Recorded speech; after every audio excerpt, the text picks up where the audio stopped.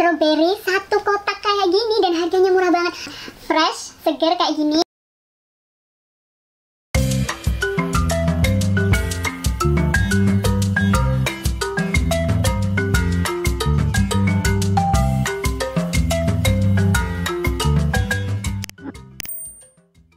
Teman-teman semua, ketemu lagi sama aku Kati di channel YouTube aku.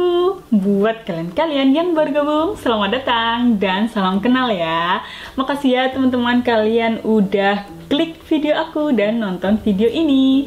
Gimana nih kabar kalian? Aku harap kalian semua sehat-sehat aja ya, pada baik-baik aja kabarnya. Beberapa hari lalu, aku ke minimarket deket rumah karena aku lagi butuh santan.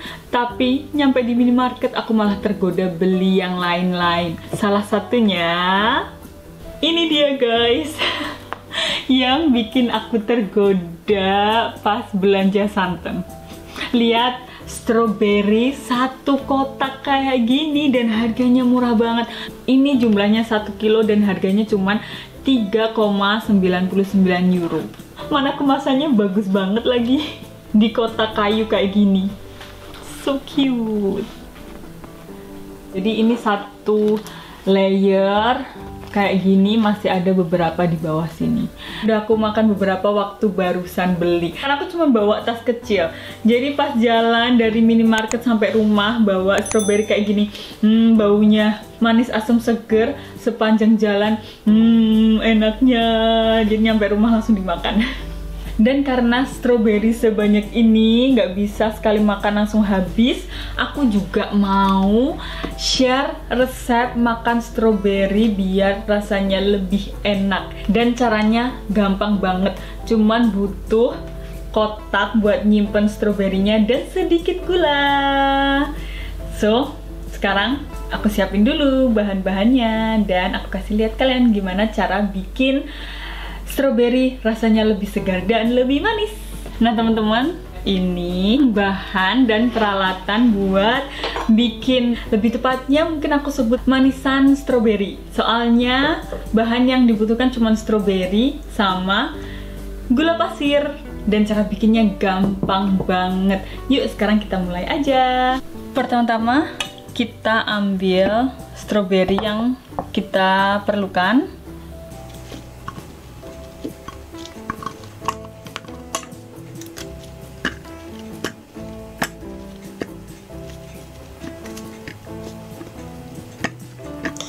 Terus kita cuci bersih. Nah, setelah dicuci bersih, kita potong-potong stroberinya.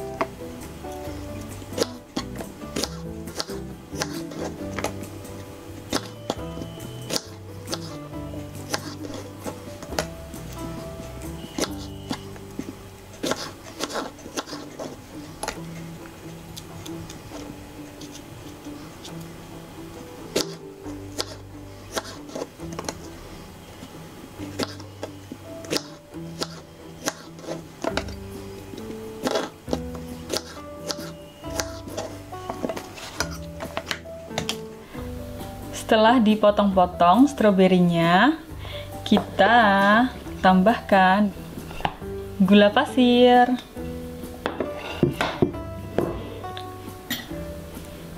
Ini setengah sendok makan. Jadi untuk stroberi satu mangkok segini sekitar 300 gram, aku pakai setengah sendok makan gula pasir aja kita tabur diratain. Terus kita aduk-aduk.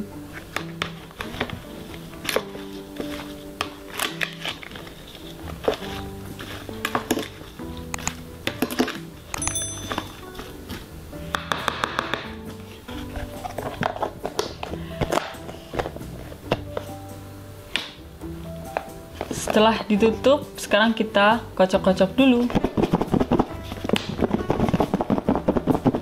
Sudah, sebentar aja ngocoknya dan selesai.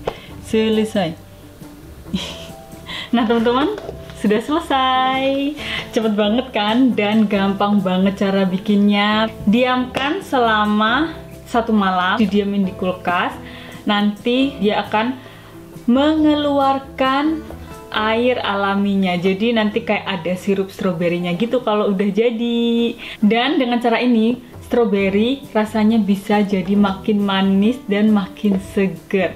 Ada salah satu teman aku yang bilang kalau stroberi di Indonesia itu kebanyakan asem. Jadi waktu aku upload foto stroberi di Story aku ada temen yang nanya, "Mbak itu stroberinya manis kah?" Terus aku jawab, "Iya, stroberinya manis banget."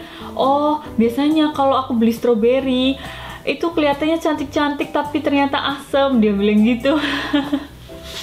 terus aku kasih dia resep juga cara bikin manisan strawberry mungkin kalau kalian suka yang manis banget kalian bisa juga nambahin gulanya juga lebih banyak kalau menurut kalian strawberry yang kalian beli itu masih terlalu asem rasanya asem banget ya mungkin uh, iklim juga mempengaruhi ya iklim dan cuaca di Jerman atau di negara empat musim kan beda dengan negara tropis. Jadi rasa buahnya juga kadang ada perbedaan.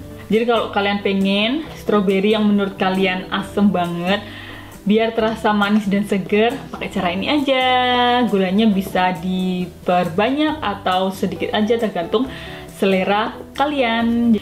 Tapi kalau aku pribadi aku lebih seneng makan strawberry yang fresh seger kayak gini. Karena dari beli pun rasanya udah manis jadi tinggal masukin kulkas langsung aku makan. Kalau aku bikin buat manisan biasanya sedikit aja. Dari 1 kilo ini aku bikin 300 gram aja.